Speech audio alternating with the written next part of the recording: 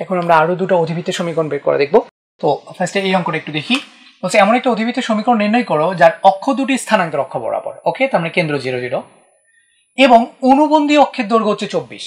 অনুবন্ধী অক্ষের দৈর্ঘ্য চব্বিশ। কিন্তু কোনটা অনুবন্ধী, কোনটা আর, এটা কিন্তু আমরা জানি না এখান থেকে। তাহলে আমরা কি ধরে নেব ইকুয়েশন দেখি আর কোনো ডাটা দেওয়া আছে কিনা। উপকেন্দ্র দেখো, দেওয়া আছে জিরো প্লাস মাইনাস থার্টিন অর্থাৎ উপকেন্দ্র দেওয়া আছে জিরো প্লাস মাইনাস থার্টিন ফরম্যাটের জিরো প্লাস মাইনাস থার্টিন মানে zero plus minus b e এই ফরম্যাটের উপকেন্দ্র। তাহলে বলো তো দেখি অনুবন্ধী অক্ষ মানে আর অক্ষটা তাহলে কোন অক্ষ বরাবর? মানে বড় অক্ষ, বৃহৎ আর অক্ষ কোন অক্ষ বরাবর হবে? জিরো প্লাস মাইনাস বিই অর্থাৎ আর অক্ষটা হবে তাহলে ওয়াই অক্ষ বরাবর, অর্থাৎ অধিবৃত্তটা দেখতে শেপের তার মানে অবশ্যই এখানে ওয়াইটা সামনে থাকবে। তাহলে আমরা অধিবৃত্তের সমীকরণ আগে ধরে নিব। ধরি অধিবৃত্তের সমীকরণ অধিবৃত্তের সমীকরণ কে সামনে থাকবে? অবশ্যই ওয়াই সামনে থাকবে, কীভাবে বুঝলাম? Zero plus minus b ফরম্যাটের y square by b square minus x square by a square equals to one এটাই হচ্ছে আমাদের অধিবৃত্তের সমীকরণ। এই ফরম্যাটেরই আসবে। এখন আমাদের এ আর বি এর মানের দরকার। তাহলে এখানে আর অক্ষ কোন অক্ষ বরাবর ওয়াই অক্ষ বরাবর, তার দৈর্ঘ্য হচ্ছে টু বি আর অনুবন্ধী অক্ষ হচ্ছে কোনটা? টু এ এখানে দেখো বলে দেওয়া আছে, অনুবন্ধী অক্ষের দৈর্ঘ্য হচ্ছে চব্বিশ। তাহলে এখানে অনুবন্ধী অক্ষের দৈর্ঘ্য কত আলটিমেটলি আমরা জানি অনুবন্ধী অক্ষের দৈর্ঘ্য হবে টু এ ইকোয়াস টু তাহলে হবে টোয়েন্টি ফোর তাহলে এর ভ্যালুটা কত পাবো আমি বারো। দেখো এর মানটা আমি পেয়ে গেছি। এবং এখান থেকে দেখা যাচ্ছে কি, এই যে বি এর মানটা হচ্ছে থার্টিন তাহলে এ জানি, আর এর মানটা এখানে বসাই দিলে কিন্তু আমরা বি এর মানটা পেয়ে যাব। কীভাবে দেখো?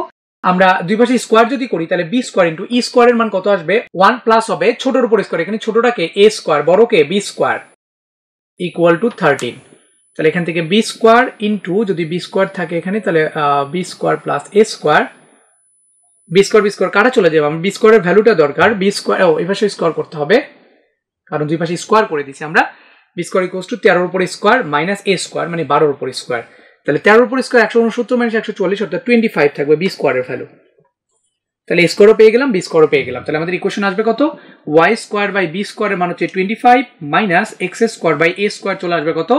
বারো বার একশো চুয়াল্লিশ ইকুয়াস টু ওয়ান এটাই হবে আমাদের অধিবৃত্তের সমীকরণ। তাহলে আমরা কি দেখলাম? যে দুইটা কন্ডিশনই দেওয়া ছিল, এখান থেকে দেখে বুঝছি যে ওয়াইটা সামনে থাকবে দেন এখান থেকে এর মানটা বি এর মানটা আমরা বের করে ফেললাম। পরের অঙ্কটার দিকে একটু তাকাই। বলা আছে, অধিবৃত্তের আর অক্ষ ওয়াই অক্ষ বরাবর। ফার্স্ট ওরা বলেই দিছে যে আর অক্ষ আর অক্ষ মানে বড় অক্ষটা ওয়াই অক্ষ বরাবর, তাহলে অনুবন্ধী অক্ষটা অবশ্যই এক্স অক্ষ বরাবর।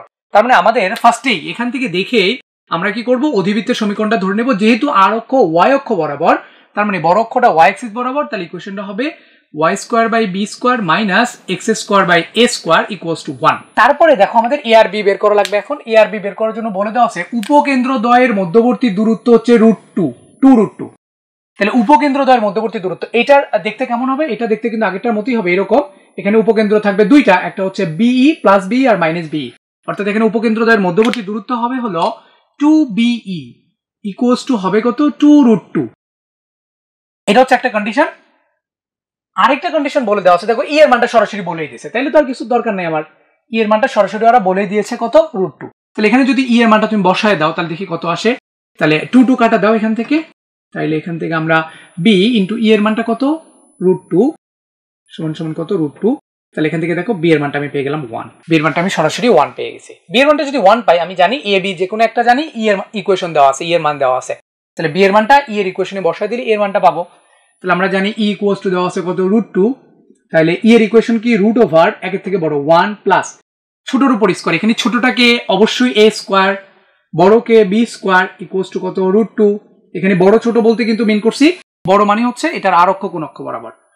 তাহলে এখানে যদি তুমি লেখো, তাহলে one plus a square by b square equals to কত আসবে? টু অর্থাৎ a square by b square equals to চলে আসবে কত? টু মাইনাস ওয়ান অর্থাৎ ওয়ান তাহলে a square equal to b square equal to one তার মানে ই আর বি দুটো এখানে ইকুয়াল তাহলে আমাদের ইকুয়েশনটা কীরকম আসবে?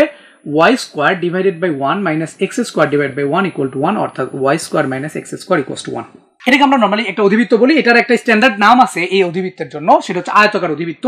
এটা নিয়ে আমরা পরে আলোচনা করব, এটা কেন আয়তকার হলো, এটার নাম কেন আয়তকার অধিবৃত্ত দেওয়া হলো। আপাতত মনে রাখি যে এই যে এ আর বি দুটো সেম হলে সেটাকে আমরা আয়তকার অধিবৃত্ত বলে থাকি, এটা নিয়ে ডিটেলস আলোচনা করব আমরা একটু পরে। তো এই অধিবৃত্তের ইকুয়েশন আসলো y square minus x square equals to one এখানে দুটো কথা একটু বলে দিই, যে এটা কিন্তু আমরা এই যে আর অক্ষটা ওয়াই অক্ষ বরাবর বলে এটা ধরে নিছিলাম। সাপোজ এই অঙ্কই তোমাকে দিয়ে দিল তারা। দিয়ে দিয়ে বলল যে, এই উপরের লাইনটা সাপোজ মনে করো দিয়ে দিল না। জাস্ট বলল একটা অধিবৃত্তের সমীকরণ নির্ণয় করো, যার উপকেন্দ্রদ্বয়ের মধ্যবর্তী দূরত্ব এত এবং ই এর মান এত। তখন অধিবৃত্তের সমীকরণটা কীভাবে বের করব? এখানে কিন্তু তোমাকে কিচ্ছু বলে দেয় নাই তারা যে, আর অক্ষ কোন অক্ষ বরাবর, অনুবন্ধী কোন অক্ষ বরাবর। এবং এই যে মান দুটো, এখান থেকে বোঝার কোনো ওয়ে নাই।